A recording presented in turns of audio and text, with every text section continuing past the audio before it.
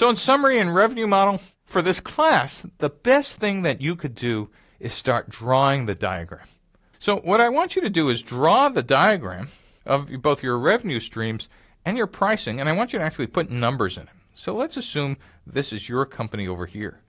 And what you've discovered is that there are three different customer segments. Look at that tenants and property owners and leasing companies. I want to know is this a subscription? What is the revenue stream that you have between each one of these customer segments? And what are the pricing tactics? And then how do you make money and what do you provide? And all of a sudden, you could now see both the revenue stream and the pricing going back and forth.